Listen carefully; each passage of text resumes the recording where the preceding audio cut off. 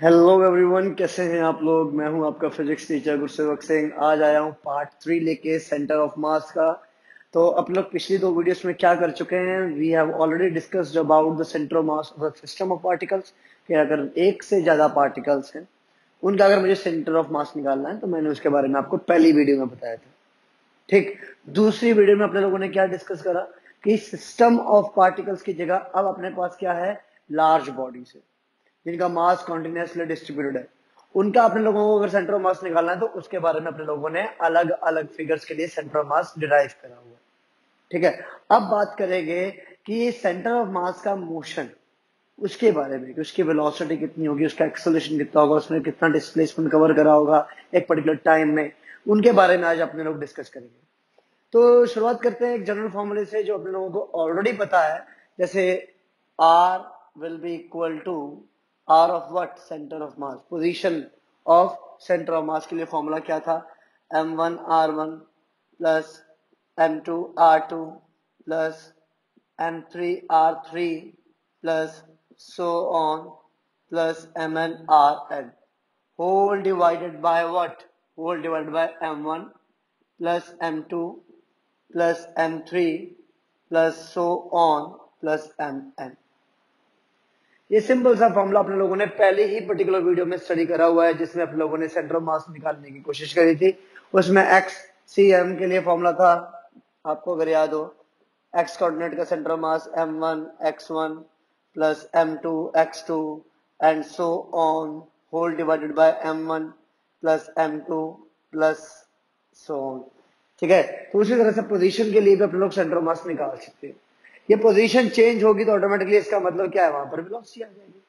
तो डिफरेंशिएट अगर मैं कर दूँ इन दोनों साइड पे विद रिस्पेक्ट टू टाइम तो इन पर्टिकुलर पोजीशंस की चेंज क्या बताएगी? वेलोसिटी अगर मैं इसको डिफरेंशिएट कर दूँ टाइम के साथ तो सेंटर मास की वेलोसिटी मैं r1 को टाइम के साथ चेंज करूँ मतलब डिफरेंशिएट कर दूँ तो r1 पर्टिकुलर जो आपका m1 पार्टिकल है, उसकी वेलोसिटी की बात करना शुरू हो जाएगी। अगर मैं r2 को टाइम के साथ डिफरेंशिएट करूँ तो जो एम टू की वेलोसिटी है, वो आना शुरू हो जाएगी। तो बेसिकली क्या करते हैं, अपने लोग डिफरेंशिएट करते हैं दोनों तरफ़। Differentiating differentiating both sides both sides with respect to small T देखो, अभी आपको ये समझ में नहीं आ रहा होगा कि इसके ऊपर क्वेश्चन आएँगे तो कैसे आएँगे। तो क्वेश्चंस मैं करवाऊँगा, उसकी चिंता बिल्कुल ना करें। क्वेश्चंस आने वाले हैं इसके बाद। बट अभी के लिए बस इतना समझिए कि कैसे एक पोजीशन चेंज होगी तो वेलोसिटी मिल जाएगी, कैसे एक वेलोसिटी चेंज होगी तो आपको एक्सेलरेशन मिल जाएगा। तो वो पर्टिकुलर पोजीशन सेंटर मास की है वेलोसिटी सेंटर मास की है एक्सेलरेशन भी सेंटर ऑफ़ मास का होगा। आप लोगों ने अभी शुरू में ही सेकंड जो आपका थर्ड यूनिट है, उसमें एक फॉर्मूला स्टडी करा था F is equal to M A large bodies के ऊपर भी अपने लोग जब फाइंड आउट करते हैं तो एक्सेलरेशन ए की जब हम बात करते हैं हम ये कहते हैं कि कंप्लीट बॉडी के ऊपर लग रहा है। बिल्कुल सही बात है। ठीक बट एक पर्टिकुलर पॉइंट तो हमें वहाँ पर भी कंसिडर करना चाहिए था कि किस पर्टिकुलर पॉइंट पर लग रहा है उस बॉडी के। तो एक्सेलेशन वो कौन सा पॉइंट होता है जहाँ पर वो लग रहा होता है? तो acceleration is basically acting on centre of mass वहाँ पर वो आपका एक्सेलेशन एक पार्टिकल के ऊपर लग रहा है जो कंप्लीट बॉडी को ट्रेवल करवाने की कोशिश कर रहा है। सेंटर ऑफ़ मास क्या होता है? Centre of mass is that particular point where the whole mass is set to be concentrated तो ये ए उस पॉइंट पर लग रहा होता है। तो यहाँ पर अगर मैं ये बोलूँ, F is equal to M A centre of mass तो F भी क्या होगा? Total force acting on centre of mass will be equal to M into total acceleration acting on centre of mass और M कहाँ है? M वही particular point पर है, जहाँ पर लोग सपोज़ करते हैं, सारा का सारा मास क्या है? कंसंट्रेटेड ठीक है? तो आपने जो फॉर्मूला स्टडी करा हुआ है F is equal to M A तो उसमें बेसिकली क्या है, आपका जो एक्सलेशन है वो कहाँ लग रहा है? सेंटर ऑफ़ मास पे लग रहा है। क्लियर है? अब, आगे differentiating both sides with respect to T तो ध्यान से देखिए डिनोमिनेटर में। M1 plus m2 plus m3 plus so on mn तो ये कोई कंप्लीट बॉडी है तो इसमें नंबर ऑफ़ पार्टिकल्स होंगे, ये नंबर ऑफ़ पार्टिकल्स हो गए मान लिया जाए। ठीक? अगर ये नंबर ऑफ़ पार्टिकल्स हैं, हर पार्टिकल का mass m1 m2 m3 m4 m5 m6 and so on mn तक चले जाएँगे। ठीक है? अब अगर मैं ये सबका मास ऐड कर दूँ तो मुझे मिल जाएगा total mass of the particular body तो सारा का सारा मास जो होगा, उसको मैंने बाहर लिख दिया सपोज़ वन अपॉन एन बाहर लिख दिया। डिफ्रेंशिएट करा इस कंप्लीट इक्वेशन को। जब मैं डिफ्रेंशिएट करूँगा तो M one D R one upon D T plus M two D T plus M three D R three upon D T N plus so और कहाँ तक जाएगा? आर एन तक चला जाएगा, ठीक है? अंडरस्टूड है? और इधर आपके पास क्या होगा? D R C O M upon D T तो भाई, यहाँ पर आप डिफ्रेंशिएट कर रहे हो पोजीशन को विद रिस्पेक्ट टू टाइम तो क्या मिलती है? वेलोसिटी मिल जाती है सेंटर ऑफ़ मास की। ठीक? और वन अपॉन एम तो एम को इधर ले आओ। एम आपका इधर आ जाएगा। तो उधर क्या मिला? M one V one plus M two V two plus M three V three plus so on अब यह मास इंटू वेलोसिटी क्या होता है? तो मास इंटू वेलोसिटी क्या होती है? आपकी मोमेंटम तो मोमेंटम किसका? सेंटर ऑफ़ मास का। किसके बराबर? P one plus P two plus P three plus so on तो यहाँ पर इस पार्टिकल का मोमेंटम कुछ और है, इसका कुछ और होगा, इसका कुछ और होगा। जब इनका रिजल्टेंट निकालोगे तो वो किसके बराबर आएगा? Momentum of centre of mass के बराबर आएगा। ठीक? फर्दर अगर मुझे एक्सेलेशन निकालना है तो इसको इक्वेशन नंबर वन नाम दे सकते हो, इसको इक्वेशन नंबर टू नाम दे सकते हो। तो differentiating first with respect to T इसको अगर मैं टाइम के विद रिस्पेक्ट डिफ्रेंशिएट करता हूँ तो मुझे क्या मिलेगा? M A C O M कैसे? भाई वेलोसिटी का डिफरेंशिएट टाइम के विद रिस्पेक्ट क्या देगा? एक्सेलेरेशन देगा। ठीक है? Is equal to M one velocity V one का डिफरेंशिएट टाइम के विद रिस्पेक्ट एक्सेलेरेशन देगा। M two in two V two V two के लिए ए टू आ जाना चाहिए। Plus M three A three आ जाना चाहिए। एंड प्लस सो ऑन तो यहाँ पर क्या दिख रहा है आपको? मास इनटू एक्सेलरेशन तो ये एक्सेलरेशन किसका है? ये सेंटर ऑफ़ मास का है। ये ए वन ये ए टू ये ए थ्री नंबर ऑफ़ अलग अलग पार्टिकल्स हैं, उनका acceleration A one A two A three represent करेंगे। उसके बाद इसका जो नेट एक्सेलरेशन मिलेगा, वो ए सी ओ एम को रिप्रेजेंट करेगा। ठीक? अगर आप यहाँ से फोर्स की एक्सप्रेशन निकालना चाहते हो तो यहाँ पर साफ़ दिख रहा है। फोर्स इसको मैं नेट फोर्स भी कह सकता हूँ। Will be equal to F one plus F two plus F three plus so on ये भी लिख सकता हूँ। या फिर इस एक्सप्रेशन को क्या करो? टाइम के बदले रिस्पेक्ट डिफरेंशिएट कर दो। तो न्यूटन के सेकंड लॉ से rate of change of momentum क्या आता है? फोर्स आता है तो आपको फिर से वही मिल जानी चाहिए। ठीक है? तो differentiating momentum with respect to time will give you what net force ठीक? ये मिलेगा। अब यहाँ से कंजर्वेशन ऑफ़ मोमेंटम का एक्सप्रेशन देख लीजिए। ठीक है? जो फंडा आपका हर जगह लगता है, वो यहाँ भी लगेगा कंजर्वेशन ऑफ़ लीनियर मोमेंटम तो if if F net is equal to zero अगर एफ़ नेट की वैल्यू ज़ीरो के बराबर हो जाती है तो DP C O M upon D T will be equal to zero ठीक? तो differentiation of momentum with respect to time will be equal to zero तो पी सी ओ एम क्या हो जाएगा? कांस्टेंट दैट इज़ कंजर्व हो जाएगा. कोई doubt इसमें? तो मोमेंटम आपका क्या हो जाएगा? कंजर्व हो जाएगा इस तरह से. क्लियर है? ठीक? तो ये तो बात रही आपकी मोशन की अब इसके बेसिस के ऊपर क्वेश्चंस देख लीजिएगा। तो ये फॉर्मुलेस नहीं बोल रहे हैं आपने। एक आर वन वाला, ठीक है, एक वेलोसिटी वाला और एक एक्सलेशन वाला। ठीक है फॉर्मुलेस बहुत इंपॉर्टेंट है। अब एक क्वेश्चन आपको करवाया जाएगा, वो देखिएगा। सपोज़ एक बॉडी है आपके पास यहाँ। टू के जी की सपोज़ ठीक है, ये मूव कर रही है नीचे की तरफ़। दूसरी बॉडी यहाँ है। सपोज़ ये थ्री के जी की है, ये मूव कर रही है इधर। इसकी वेलोसिटी है मान लो फाइव मीटर पर सेकेंड इसकी वेलोसिटी यहाँ पर टेन मीटर पर सेकेंड ठीक है सपोज़ ये मूव कर रहा था थर्टी डिग्री के साथ और ये मूव कर रहा था फोर्टी फाइव डिग्री के साथ सपोज़ अब बोला गया है, इन दोनों बॉडीज का जो सेंटर ऑफ़ मास होगा, उसकी वेलोसिटी पता करिए क्या होगी। ठीक तो भाई velocity of centre of mass के लिए फॉर्मूला क्या था? M one V one plus M two V two whole divided by M one plus M two ठीक? अब कईयों के दिमाग में होगा कि एम वन है वी वन है एम टू है वी टू है वैल्यूज़ को पुट करो आंसर आ जाएगा। तो ऐसा नहीं है भाई यहाँ पर। बिल्कुल भी नहीं। यहाँ से देखिए, अगर मैं इसको मान लेता हूँ एक्स एक्सेस और ये मान लेते हैं वाई एक्सेस ठीक? तो भाई इसके दो वो है कंपोनेंट्स हाँ या ना? बिल्कुल होंगे। तो एक कंपोनेंट इधर हो गया। इसको मैं, अगर मैं ये वी वन मानूँगा तो ये वी एक्स वन मानूँगा इसको। और ये वी वाई वन मानूँगा। तो ये वी एक्स वन की वैल्यू कितनी होगी? फाइव कॉस थर्टी डिग्रीज और इधर ये five sine thirty degrees clear similarly यहाँ पर इसकी वैल्यू देखिए। इसके भी दो कंपोनेंट एक इधर और एक इधर। ठीक, दो कंपोनेंट तो अगर ये V2 हुआ तो इसकी वैल्यू क्या होगी? V2 cos 45 डिग्री और इधर V2 sin 45 डिग्री। ठीक तो इसका मतलब सेंटर मास के भी दो कंपोनेंट होने चाहिए, x और y तो आपको क्या करना होगा? सेंटर ऑफ़ मास का x कंपोनेंट निकालना होगा। तो वो कैसे मिलेगा? M1 v x1 plus m2 v x2 whole divided by M one plus M two ठीक सिमिलरली सेंटर ऑफ़ मास का वाई कोऑर्डिनेट भी निकालना होगा। तो वो कैसे मिलेगा भाई? सिमिलरली यही फॉर्मूला लगाइए।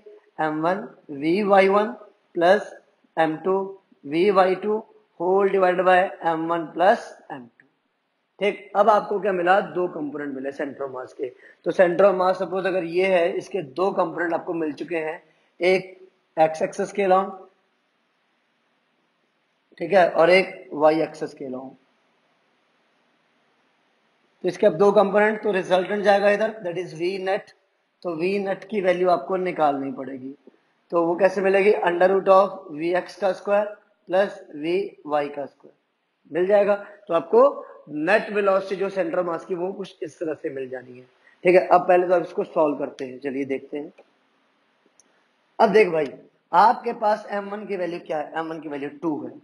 V X one V X one ध्यान से देखो five cos thirty cos thirty बोले तो five root three upon two तो five root three upon two plus M two की value three V X two V X two कितना था? V X two कहाँ है? ये आपके पास वी एक्स टू ठीक है? ये वी एक्स टू की वैल्यू कितनी है? वी टू वी टू कितना है? Ten ten cos forty five बोले तो ten upon root two divided by M one plus m2 that is 2 plus three clear इसको सॉल्व करने करेंगे अपने लोग तो आपको आंसर मिल जाना चाहिए। सिमिलरली एम वन की वैल्यू क्या है यहाँ पर? 2 K G V Y one V Y one ध्यान से देखिए कितना है फाइव बट कैसा है फाइव ये माइनस का है प्लस का है। ये आपका है माइनस का। क्यों? क्योंकि नीचे की तरफ़ है। तो इसको माइनस का पुट करना पड़ेगा। ठीक है? तो माइनस का फाइव और साथ में ये माइनस का। सॉरी ये नहीं, ये माइनस का। माइनस का फाइव, साइन थर्टी तो साइन थर्टी बोले तो five by two. Plus M two कितना है? एम टू थ्री है। N two V Y two ऊपर चला गया तो वी टू के लिए ten ten ten upon root two आ जाएगा ये भी। होल डिवाइड बाय क्या है? Two plus three. क्लियर? अब हो सकता है वी वाई की वैल्यू नेगेटिव आ जाए। हो सकता है। तो अगर ये नेगेटिव आती है तो ये वाला कंपोनेंट नीचे आ जाएगा वी वाई का। ठीक? अगर ये नेगेटिव आती है तो अगर ये पॉजिटिव आती है तो ऊपर ही होगा। ठीक है? अगर ये नीचे आती है तो इसके साथ जो नेट वेलोसिटी होगी, वो इधर की साइड हो जाएगी। ठीक है? इन दोनों की पर्टिकुलर वैल्यूज़ का आंसर आपने निकाल के कमेंट बॉक्स में आंसर लिख देना। ठीक है? अगला क्वेश्चन देखते हैं भाई। आपका फेवरेट क्वेश्चन है वो। पुली बहुत अच्छी लगती होगी आप लोगों को। तो पुली आपका साथ नहीं छोड़ने वाली है। पुली साथ में ही जाएगी इलेवेंथ क्लास में। अब ध्यान से देखो, अगर एक कंप्लीट एक सिस्टम है, ठीक है? एक सिस्टम है, दो बॉडीज है, एक ये वन के जी वाली और एक ये टू के जी वाली, ठीक है? अब आपको बोला गया है, इसका सेंटर मास निकालिए। ओ सॉरी इसका जो बॉडी का, जो सेंटर मास का एक्सलेशन है, वो पता करिए। तो कैसे करोगे पता? ट्राई करिए, ये मास एम वन ये mass M two acceleration of centre of mass का फॉर्मूला क्या होता है? M one A one plus M two A two ठीक whole divided by M one plus M two A one किसका होगा? इसका A two किसका होगा? इसका दोनों को पुट करोगे ए सी ओ एम आ जाएगा। अब ये पुल ही है, ध्यान से देखिए, कुछ इस तरह से लगी हुई है। तो आपको ए वन ए टू निकालना है पहले दोनों का। तो यार ये तो आपको ऑलरेडी पता ही है कैसे निकालते हैं। तो ये हो गया एम वन जी ये हो गया एम टू जी ठीक है, याद आ रहा है कुछ? ये टेंशन टी तो ये भी टेंशन टी ठीक तो एम वन के लिए ध्यान से देखो क्या आएगा? T minus M one G is equal to ये एक्सलेशन ए ये एक्सलेशन नीचे की तरफ़ ए तो इसको ए वन नाम दे दो, इसको ए टू नाम दे देना।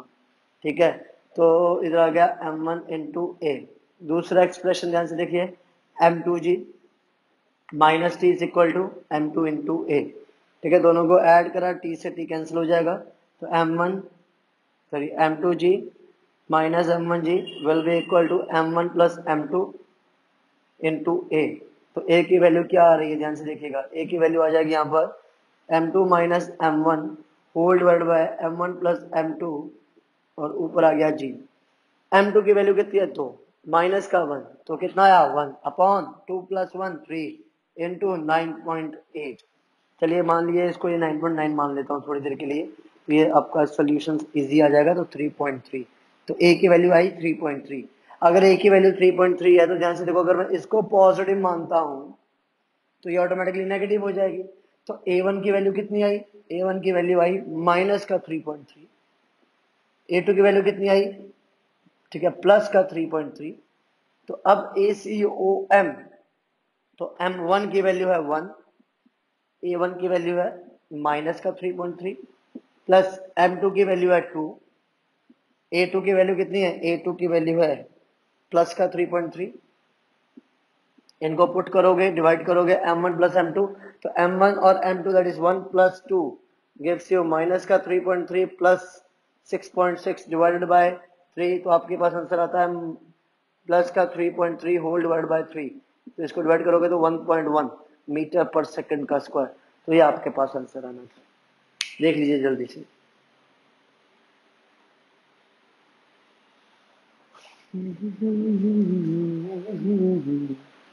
हो जाएगा? चलिए, आगे बढ़ते हैं। पहली वीडियो में मैंने सिस्टम ऑफ़ पार्टिकल्स के लिए एक क्वेश्चन करवाया था और साथ में साथ एक फॉर्मूला भी डिराइव करवाया था, जिसमें मैंने कहा था कि अगर आप कभी भी दो बॉडीज के लिए सेंटर ऑफ़ मास जो शिफ्ट हो सकता है या नहीं होता है उसके लिए अगर आपको फॉर्मूला लगाना है तो आप ये वाला फॉर्मूला लगा सकते हो M one R one is equal to M two R two ये तब लगाते हैं जब दो पर्टिकुलर बॉडीज आपस में रखी जाती है एक दूरी पर और एक बॉडी अगर मूव करती है तो दूसरी के लिए आपको पता करना होता है कि वो कितना मूव करे ताकि सेंटर ऑफ़ मास शिफ्ट ना हो। ठीक है? तो जैसे मान लेता हूँ कि सपोज़ अगर एक बॉडी यहाँ रखी है बीस के की, ठीक है? और दूसरी बॉडी यहाँ रखी है तीस के की, ठीक? और ये वाली बॉडी मूव कर जाती है तीन सेंटीमीटर मान लो। ये वाली बॉडी मूव कर जाती है तीन सेंटीमीटर ठीक है? तो by what distance must the thirty K G mass be move so that question है by what distance by by what distance must a 30 kg mass be moved so that center of mass remains fixed. Clear है? अगर आपको ये पता करना है तो। अब ध्यान से देखिए भाई, अगर ये कोई सेंटर ऑफ़ मास है, ठीक है? ये कोई सेंटर ऑफ़ मास है। अब इसके लिए आपको ये सेंटर ऑफ़ मास फिक्स रखना ये सेंटर ऑफ़ मास क्या रखना है? फिक्स रखना इसमें कोई चेंज नहीं हो रहा है। तो भाई, अगर ये फॉर्मूला लगा लगा लेते तो भी कोई दिक्कत नहीं। वरना सबसे आसान चीज़। R is equal to M one R one plus M two R two whole divide by M one plus M two ठीक। अब डिफ्रेंशिएट कर दीजिए दोनों तरफ़। तो भाई इसका डिफ्रेंशिएशन करा तो डी आर इधर इसका डिफ्रेंशिएशन करा तो डी आर वन प्लस इसका डिफ्रेंशिएशन करा तो D R two whole divide by M one plus M two clear यहाँ तक? ठीक। डी आर बोले तो क्या? चेंज इन आर मतलब change in the position of centre of mass D R one क्या है? Change in the position of mass M one D R two क्या है? Change in the position of mass M two ठीक है?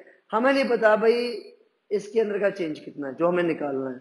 By what distance must thirty K G mass be moved so that centre of mass remains fixed तो centre of mass fix है। पहले जितना ही है तो इसमें कोई चेंज आएगा नहीं। तो चेंज नहीं आएगा तो ये ज़ीरो मास एम वन कितना है? ट्वेंटी ठीक? डी आर वन तो डी आर वन उधर की तरफ़ मूव कर रहा है लेफ़्ट टू राइट उधर की तरफ़ जा रहा है। जब उधर की तरफ़ जा रहा है तो प्लस का कितना? थ्री सेंटीमीटर ठीक है? और plus N two N two कितना है? Thirty into D R two में पता नहीं है। डिवाइडेड बाय जो भी होगा, वो इधर जाएगा तो वो ऑटोमेटिकली वो भी ज़ीरो हो जाना ठीक है? अब ये आया sixty is equal to minus thirty D R two तो थर्टी टू जा। तो डी आर टू की वैल्यू कितनी माइनस का टू सेंटीमीटर कहने का मतलब ये हुआ थर्टी के को मूव करना है दो सेंटीमीटर अब किधर की तरफ़ मूव करना है? तो वो साइन ऑटोमेटिकली इंडिकेट कर रहा है। जब मैंने इस डिस्टेंस को जो इधर की तरफ़ मूव कर रहा है, उधर की तरफ़ मूव कर रहा है, उसको मैंने पॉजिटिव लिया तो ऑटोमेटिकली ये डिस्टेंस जो नेगेटिव है तो वो इधर की तरफ़ मूव करना चाहिए। तो ये बॉडी समथिंग यहाँ आ जानी चाहिए। दैट इज़ दो सेंटीमीटर की दूरी पर चल के आ जानी चाहिए। अगर ये बॉडी यहाँ आ चुकी है तीन सेंटीमीटर की दूरी चल के तो इसको दो सेंटीमीटर चल के आगे आ जाना चाहिए ताकि ये सेंटर मास फिर से क्या रहा है फिक्स रहे। देख लीजिए, ऐसे क्वेश्चन अगर आते हैं तो।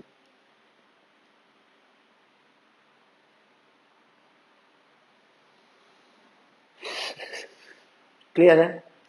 ठीक। आगे देखिए हम लोग।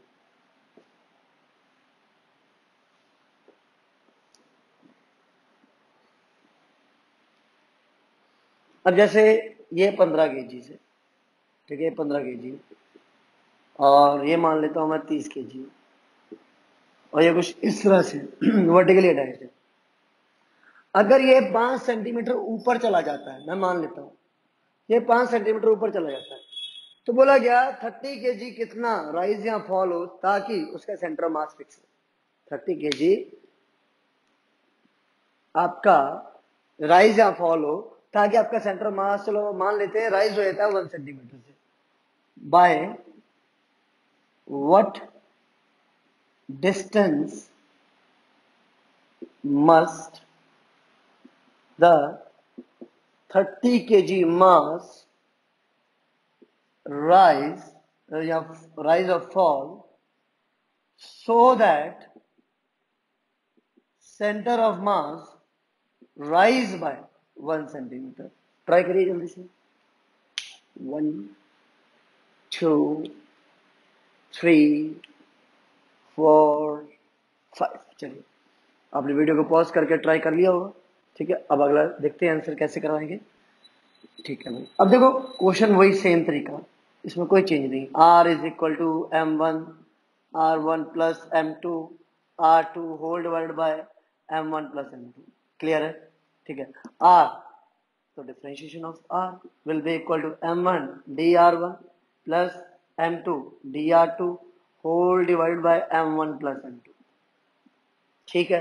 अब, यहाँ पर डी आर क्या है? चेंज इन सेंटर मास ठीक है। सब दिख रहा है कितना है? एक सेंटीमीटर कहा? ऊपर। ऊपर वाले को क्या ले लिया? पॉजिटिव तो प्लस का वन ठीक।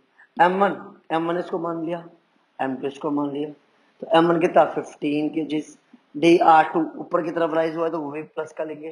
ठीक है plus M two into D R two divided by M one plus M two M one या एम टू ये कितना? फिफ्टीन प्लस और ये एम टू को लिख दिया? ये थर्टी हो जाएगा। नीचे आ गया 45 तो 45 five into one forty five is equal to fifteen five जर seventy five plus thirty D R two तो सेवेंटी फाइव इधर जाएगा तो माइनस का तीस इज़ इक्वल टू तीस डी आर टू तो कितना आया? तो डी आर टू की वैल्यू आ गई माइनस का वन सेंटीमीटर क्या मतलब हुआ? अगर ये पाँच सेंटीमीटर ऊपर राइज कर रहा है centre of mass one centimetre से राइज कर रहा है तो इसको नीचे कितना आना चाहिए? माइनस का वन दैट इज़ नीचे वन सेंटीमीटर इसको आ जाना चाहिए ताकि सेंटर ऑफ़ मास की वैल्यू एक सेंटीमीटर से राइज कर जाए। सिंपल क्लियर और दिक्कत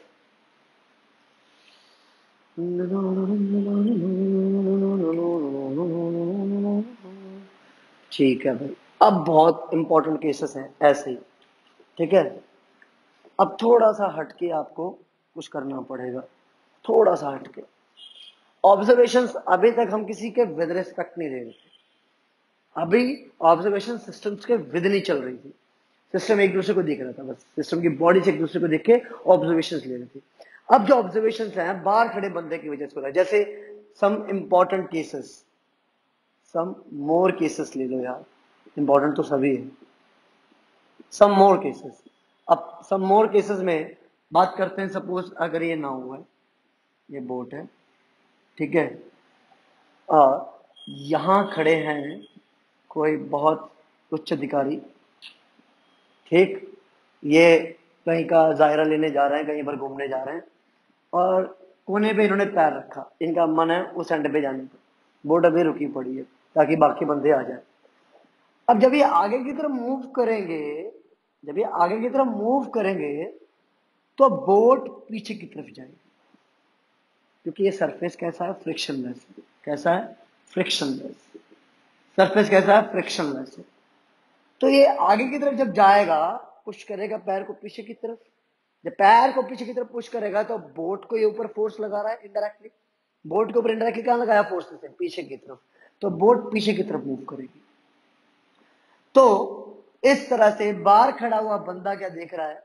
इसको मूव होते हुए इधर और इसको मूव होते हुए इधर। बात अब आपको अगर ऐसे क्वेश्चंस करने हो, चलो और देखते हैं। सिमिलरली अगर एक बैलून है बैलून गुब्बारा। एक गुब्बारा है। स्पेलिंग गलत है कोई बात नहीं। और यहाँ एक बंदर, जिसके ऊपर चढ़ना जा रहा है। बंदर ऊपर की तरफ़ जब जाएगा किसी वेलोसिटी वी वन से। तो गुब्बारे के ऊपर जब चढ़ रहा होगा, जब चढ़ रहा होगा ऊपर तो गुब्बारा नीचे आएगा, अपने किसी वेलोसिटी वी टू के साथ, अपने किसी वेलोसिटी वी टू के साथ। तो उस समय के लिए सेंटर ऑफ़ मास की पोजीशन या वेलोसिटी पता करने के लिए अपने लोग क्या करेंगे, एक अलग ही फंडा अप्लाई करेंगे, जिसके बारे में मैं आपको बताने जा रहा हूँ।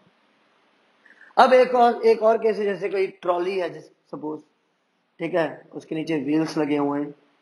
अब आपने कभी नोटिस करा हो कि जब आप यहाँ से जंप करते हो इधर, जब आप जंप करोगे तो ट्रॉली उधर की तरफ़ भागेगी। आपने जंप करा तो पुश करा होगा ना ट्रॉली को पीछे की तरफ़? तभी तो आप आगे की जंप कर पाए। जब आपने पीछे की तरफ़ पुश करा तो ट्रॉली उधर की तरफ़ भाग जाएगी। तो वो ट्रॉली कितनी वेलोसिटी से उधर गई, ये सब चीज़ें अगर आपको पता करनी होंगी, ठीक है ना? तो अब आपको ये समझना है कि ऐसे केसेस को करना कैसे है। ये सॉल्व कैसे करना है? ठीक है। अभी तक मैंने शुरू में ही कुछ एक्सप्रेशन आपको बताई थी। तो वो फालतू की एक्सप्रेशन नहीं थी। जैसे पहली एक्सप्रेशन ही मैंने आपको ये बताई थी A C O M is equal to M one A one plus M two A two plus m3 a3 plus so on, whole divided by m1 plus m2 plus m3 plus so on. ठीक कुछ ऐसा था ना। अब यहाँ पर देखो, अगर ये पर्टिकुलर बॉडी है कोई, इसमें नंबर ऑफ़ पार्टिकल्स हैं, ठीक है? नंबर ऑफ़ पार्टिकल्स हैं m1 m2 m3 तो ये जो ACOM है तो इस बॉडी का कहीं ना कहीं सेंटर ऑफ़ मास होगा। ये उसके लिए एक्सेलरेशन की बात कर रहा है। तो इसका एक्सेलेशन ए वन इसका एक्सेलेशन ए टू इसका acceleration A three and so कुछ ऐसा ही होगा? हाँ या ना? बिल्कुल। ठीक। दैट इज़ दैट इज़ अगर ये सारे मासेस को मैं ऐड कर दूँ तो मुझे मिल जाएगा कैपिटल एम तो that is capital M into A C O M will be equal to M one A one plus M two A two plus so on अब ये आप, अगर आप ध्यान से देखें तो ये एफ़ नेट की बात कर रहा है। तो F net will be equal to F one plus F two plus so her particular particle के ऊपर का फोर्स भी गिवन है। एफ़ वन हो गया एफ़ टू हो गया एफ़ थ्री एंड सो अगर एफ़ एफ़ नेट की वैल्यू अगर ज़ीरो हो जाए। फोर्स नेट जो आपका है, अगर वो ज़ीरो हो जाए तो क्या लगता है? क्या सेंटर मास का जो एक्सलेशन है, वो भी ज़ीरो होना चाहिए। बिल्कुल। Then then ACOM will also be zero. ACOM will also be zero. क्या? A1 is equal to A2 is equal to A3 is equal to so on ये भी सब ज़ीरो हो जाने चाहिए क्या? क्या? जब A C O M zero है तो A one A two A three ये सब भी ज़ीरो हो जाने हो जाने चाहिए क्या? नहीं। नॉट कंपल्सरी नॉट कंपल्सरी ऐसा क्यों? हो सकता है कि इन पार्टिकल्स के ऊपर फोर्सेस लगे F1, F2, F3 ये सारे के सारे फोर्सेस लगे। इन सारे फोर्सेस का जो रिजल्टेंट फोर्स था F नेट वो ज़ीरो आया सारे के सारे फोर्सेस का रिजल्टेंट फोर्स वो ज़ीरो आया। बट F1 तो लग रहा था ना F2 भी लग रहा था ना F3 भी लग रहा था ना तो अलग अलग पार्टिकल्स के ऊपर अलग अलग फोर्सेस लगे F1, F2, F3 लगे। उनका नेट फोर्स ज़ीरो हुआ। तो जब F1, F2, F3 ये सब लग रहे हैं तो A1, A2, A3 ये सब भी तो होंगे। बिल्कुल होंगे कोई प्रॉब्लम नहीं। ठीक है? तो जब F1, F2, F3 होंगे तो A1, A2 और A3 भी होने चाहिए। ठीक है? अब जब सेंटर मास का एक्सलेशन ज़ीरो है तो वेलोसिटी ऑफ़ सेंटर मास क्या होगी? ज़ीरो नहीं compulsory depending upon the initial condition VCOM depend करेगी उसकी इनिशियल कंडीशन पर कि इनिशियली आपका वो पर्टिकुलर बॉडी का सेंटर मास कैसी पोजीशन पे है? रेस्ट पे है या मोशन पे? ठीक है? If already in motion already अगर वो मोशन में है तो वी सी ओ वीसीओएम कांस्टेंट हो जाएगा और उसी वेलोसिटी से चलता जाएगा। अगर ऑलरेडी वो पर्टिकुलर पार्टिकल आपका मोशन में था तो वी सी एम बोले तो सेंटर ऑफ़ मास आपका उसी वेलोसिटी से चलता जाएगा। उसको रोकने वाला फिर कोई नहीं। But but if at rest initially अगर वो इनिशियली रेस्ट पर था तो वीसीओएम क्या हो जाएगा? ज़ीरो हो जाएगा। वी सी ओ एम की वैल्यू भी क्या हो जाएगी? ज़ीरो हो जाएगी। अब बात आती है, जब वीसीओएम ज़ीरो है तो क्या इस फॉर्मूले के अकॉर्डिंग इस फॉर्मूले के अकॉर्डिंग ये फॉर्मूला भी पढ़ा हुआ है ना? बिल्कुल पढ़ा हुआ है।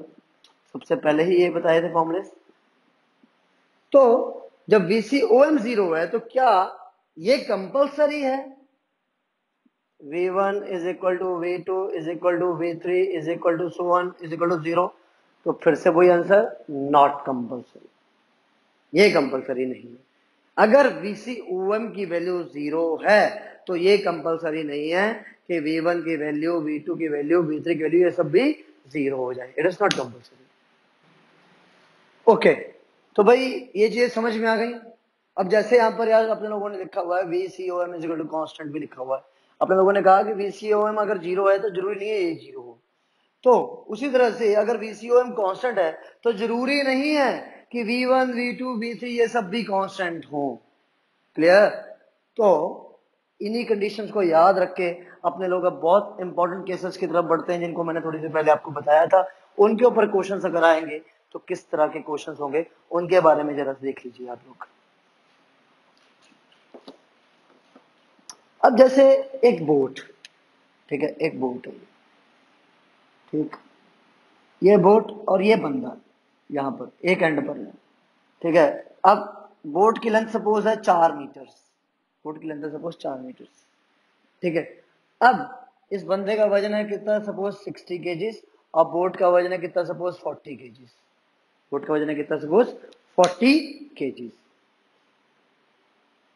अगर बंदा इस कोने पे जाना चाहता है, दूसरे कोने पे। तो बोर्ड का डिस्प्लेसमेंट कितना होगा, ये पता करना है। What will be the displacement of boat boat if man move to the another corner ठीक है अनदर कॉर्नर की तरफ़ अगर वो जाता है तो बोर्ड का डिस्प्लेसमेंट कितना होगा? तो भाई, सबसे पहली चीज़ तो ये देखिए, एक सिस्टम इस तरह से कि एक बॉडी दूसरी बॉडी के ऊपर मूव कर रही है। ठीक? तो जब ऐसा होगा तो अपने लोग क्या करेंगे? ऑब्जर्वेशन को बाहर खड़ा करेंगे यहाँ पर। उसके विद रिस्पेक्ट देखेंगे। तो उसके विद रिस्पेक्ट ये पर्टिकुलर पॉइंट यहाँ से है तो सारी ऑब्जर्वेशन वो इस पॉइंट के विद रिस्पेक्ट देखेगा। ठीक? अब, जब बंदा आगे की तरफ़ मूव करेगा तो बोट इधर की तरफ़ जाएगी। तो मान लिया वो बोट जो इधर की तरफ़ गई, वो समथिंग एक्स डिस्टेंस के लिए गई। अब भाई एक्स डिस्टेंस जो बोर्ड का है, वो इधर आ गया। तो बंदा कितना डिस्टेंस कवर करेगा आगे? एक्स तो इधर आ गया। तो बंदा कितना कवर करेगा? फोर माइनस एक्स ठीक है? तो फॉर्मूला वही सेम आपको लगाना है फिर से।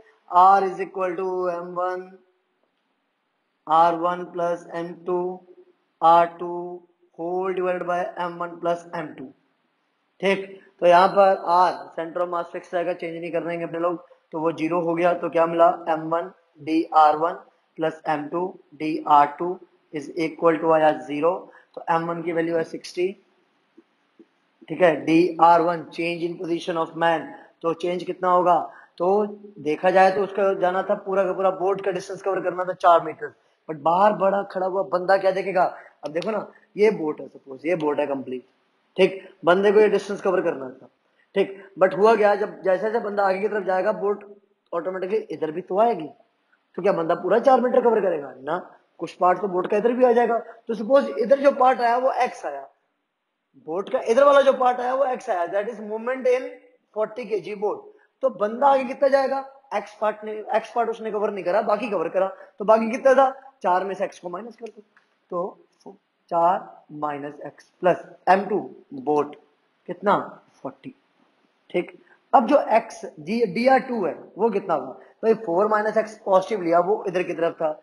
x आपका इधर की तरफ़ है तो वो माइनस का x लेना पड़ेगा। ठीक? अब इसको करेंगे सॉल्व। तो ध्यान से देखिए, ये आ गया इधर 40x इधर आ गया तो प्लस का हो गया 40x इधर 60 into four, two forty, minus का 60x इधर आ जाएगा तो 100x इज़ इक्वल टू 240 तो ज़ीरो से ज़ीरो कैंसिल तो एक्स की वैल्यू कितनी? 2.4 तो कितना डिस्टेंस कवर करा बोट ने? 2.4 सेंटीमीटर 2.4 सेंटीमीटर डिस्टेंस आपकी जो बोट है, वो उधर की तरफ़ मूव हो जाएगी। बात समझ में आई? कोई दिक्कत तो नहीं? देख लीजिए एक बार। ठीक है? आगे।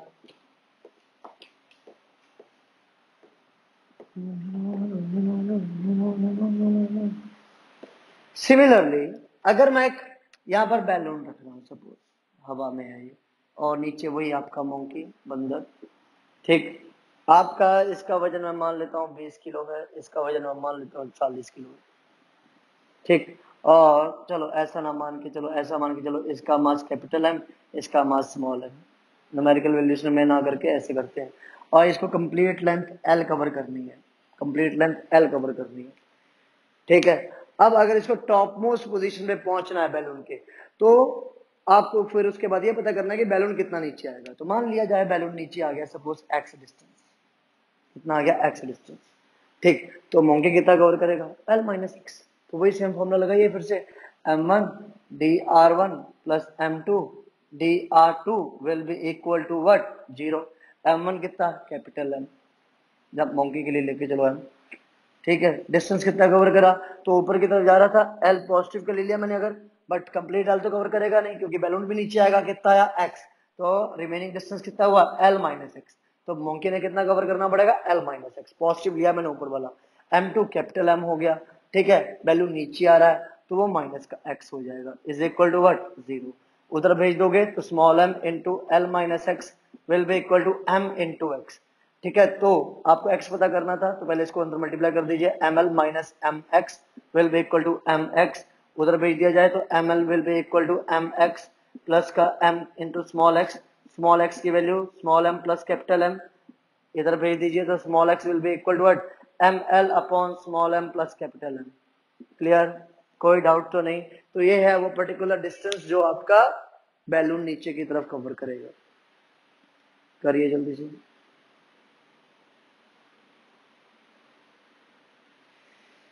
ठीक है भाई अब आगे सुनिए।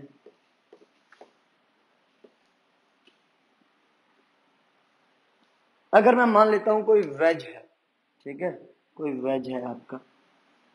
और इस वेज पर कोई भी आपने एक ब्लॉक रखा हुआ है, उसका मास मान लिया स्मॉल एम इसका मास मान लिया एट एम इस वेज का मास मान लिया एट एम और इसकी अपनी लंबाई है सपोज़ फोर सेंटीमीटर्स, इसकी अपनी लंबाई कितनी है? फोर सेंटीमीटर और ये जो पर्टिकुलर सरफेस है, जिसके ऊपर ये वेज रखा हुआ है, ये कंप्लीटली फ्रिक्शनलेस है। क्या ये? फ्रिक्शनलेस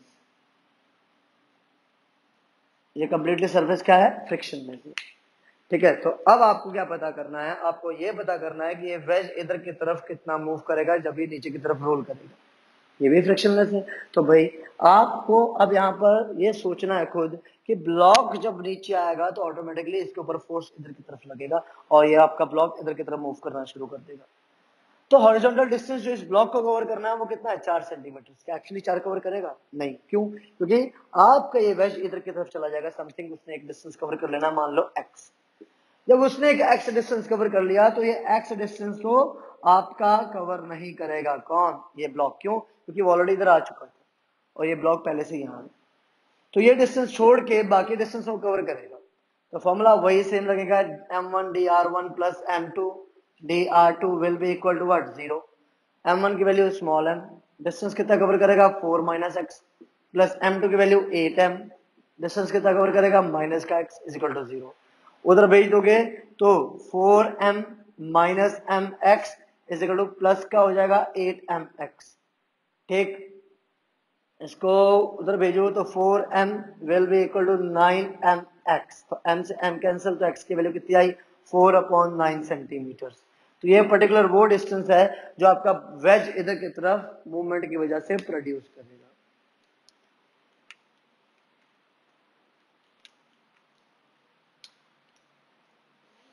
ठीक है भाई। अब आपके पास एक लास्ट क्वेश्चन है। थोड़ा सा हटके है, थोड़ा सा हटके बस। अभी तक दो बॉडीज की बात कर रहे थे, अब तीन बॉडीज की बात करेंगे। ठीक है?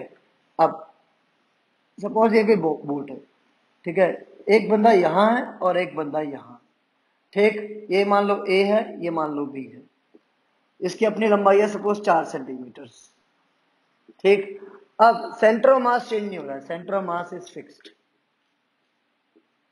both A and B are coming towards center. Center की तरफ़ आएँगे वो. Then find how much do the boat move how much do the boat move कितना डिस्प्लेसमेंट बोट के अंदर कवर होगा जो सेंटर ऑफ़ मास फिक्स्ड है? और इनिशियली आपका सिस्टम रेस्ट पर था इनिशियली तो ठीक. तो क्या होगा इसमें? M one D R one plus M two D R two plus M three D R three is equal to zero तीन बॉडीज तीनों के लिए लग गया। एम वन ये वाली बॉडी हो गई तो मान लो इसका वज़न है भाई चालीस किलो। ये आपकी बी हो गई तो पचास किलो। ये आपकी आपकी बोट हो गई जिसका मान लो बीस किलो। ठीक है? तो सेंटर पे आने का मतलब है तो दोनों कितना कितना आगे जाएँगे? दोनों जाएँगे दो दो सेंटीमीटर आगे। दोनों जाएँगे, दो दो सेंटीमीटर आगे। तो दोनों के बीच का जो डिस्प्लेसमेंट हुआ, कितना हुआ? दो सेंटीमीटर इसका, दो सेंटीमीटर इसका। एम वन की वैल्यू कितनी? चालीस। डी आर टू की वैल्यू कितनी? ओके नहीं नहीं। हाँ ये हो गई चालीस। अब बंदा जो यहाँ पे खड़ा है, बंदा जो यहाँ पे खड़ा है, वो देखेगा। बोट सपोज़ इधर आ गई एक्स सपोज़ इधर आ गई एक्स अब अगर बोट इधर आ गई एक्स तो ये आगे चला गया तो इसने इतना, इसका पार्ट तो कवर कराएँगे। तो वो कितना हो जाएगा? टू माइनस एक्स क्योंकि अपोजिट डायरेक्शन में था। बट एम टू की अगर मैं बात करूँ फिफ्टी के तो उसको ये डिस्टेंस भी कवर करना है। तो कितना जाएगा? टू प्लस एक्स क्योंकि उसी के डायरेक्शन में है वो। एम थ्री की बात करो तो हो गया ट्वेंटी और ये माइनस का X is equal to zero क्योंकि बोर्ड के लिए अपोजिट डायरेक्शन माइनस का एक्स लग गया। अब इसको करेंगे सॉल्व तो 80 minus forty X plus fifty into hundred plus fifty X और प्लस माइनस का twenty X will be equal to what zero completely competitive question है, मैं आपको पहले बता दूँ। पब्लिकेशंस की बुक्स में हार्डली आपको एमसीक्यूज में मिल जाएँगे, वैसे नहीं मिलेंगे करने को। एस वर्मा उठाइए, कुछ और करने की ज़रूरत नहीं है। सारा का सारा आईआईटी का पेपर ये समझ लीजिए एस वर्मा में से आ जाएगा आपके लिए। ठीक है? अब 80 plus hundred one hundred ten हो गया तो वन हंड्रेड एट्टी हो गया माइनस सिक्सटी और प्लस फिफ्टी तो माइनस का टेन एक्स हो गया इज़ इक्वल टू ज़ीरो ठीक है? आंसर कितना आ जाएगा? X is equal to eighteen तो this will be the answer ठीक है? तो उम्मीद करता हूँ आपको ये वीडियो अच्छी लगी होगी। ठीक है?